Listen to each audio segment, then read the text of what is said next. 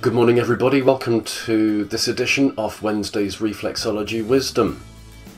And today I'm going to be appealing for some help.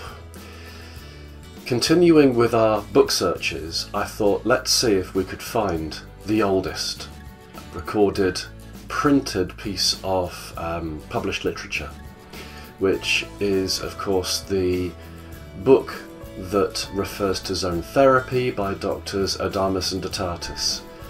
This is something that it seems everybody has listed on their websites, um, it's out there.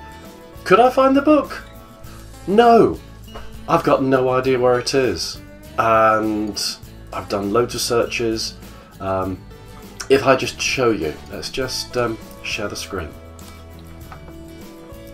So, I've been to Google Scholar. So this is an advanced search that you can do if you are searching for an academic article, uh, a publication.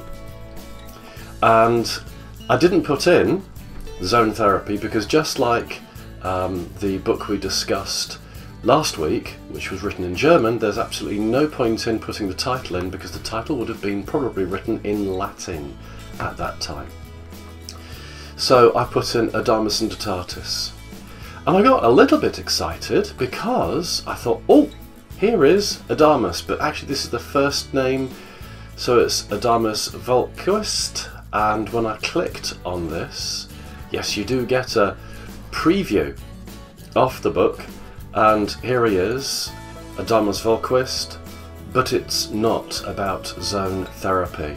This is about, uh, it actually says testing the truth is what this title stands for. So, um, and it's certainly not co-authored by uh, Atatis at all either. And also the date is wrong here. Uh, the date that this book was published, let's just click back a little bit, is 1781. Um, the book that we're looking for is way, way further back than that. It's 1582. So we're on the wrong track there. But what you can see here is that if we click on uh, this book in 1995, it's called the Reflexology Manual. This references to it as well. So um, it talks about doctors Adamus and Datatis. So this is written by Pauline Willis. The Reflexology Manual references it. We've got uh, For Anderson's book, uh, references Doctus Adamus and Atatis. Uh, so where are we now then? Dirty, dirty, dirty, dirty. It's on here somewhere. There we go. Doctors Adamus and Atatis just at this point, just here.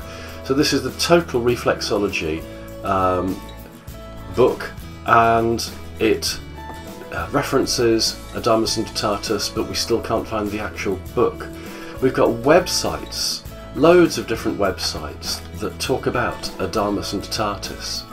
And I got really frustrated, so I thought, you know what? I'm going to go to the Royal Society of Medicine.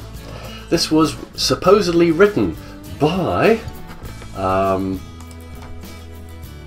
doctors, so I thought, let's see, does the Royal Society of Medicine have it? So I did a search. So let's just go to that search. So it's a case of we popped it in. Adamus and Datatis, Royal Society of Medicine, no results were found. So, is this book myth?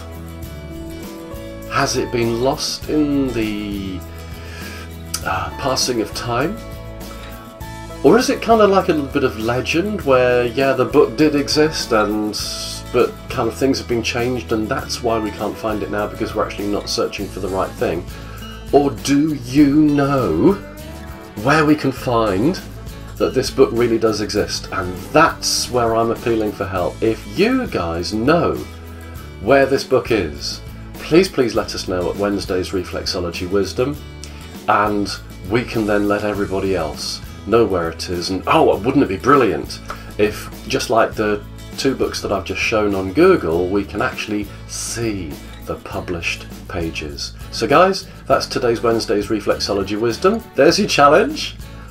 Take care, stay safe, See you next week.